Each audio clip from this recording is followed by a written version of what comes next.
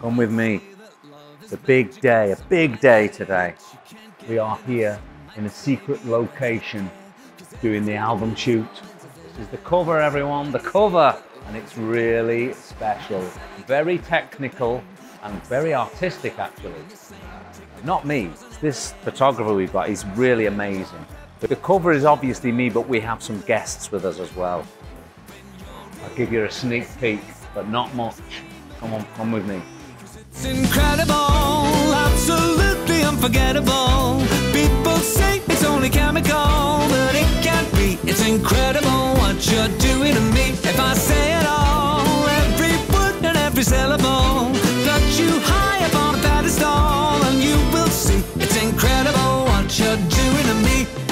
With new music, and especially new albums, I'm just so excited of how people are going to respond. And we never know. You can try and think of your audience and what they may want, but you know, you want to give them 150% of you. And so it's often not good to think of other people's opinions. But at this point, I'm loving what we've done. I'm loving what we've created as a team and an orchestra and a group of people.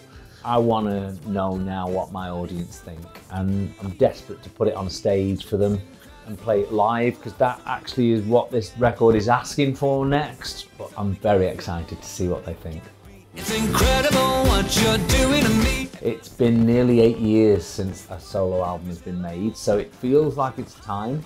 I definitely felt on the Odyssey tour that I was starting to think more about what's coming next as a solo performer. I know, I know the band wanted to take some time off, and I was thinking, you know, I don't ever want to repeat myself. That to me is boring. It's such a temptation to do it because it's easy, you know it, but it's like, where do I go next? What do I do? And it seemed almost silly that I've never done a record with an orchestra. So much of my music asks for an orchestral sound that it had to be done. But then another thought hit me straight away is that what I don't want is a sleepy old record that is just very beautiful and nice to listen to and predictable as people know me as a balladeer, someone who loves to write slow music.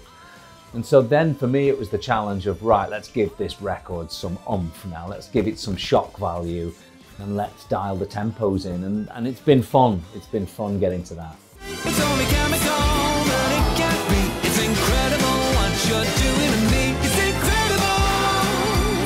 Okay, everyone, that's it. We are done for the day. I cannot wait to see the finished results.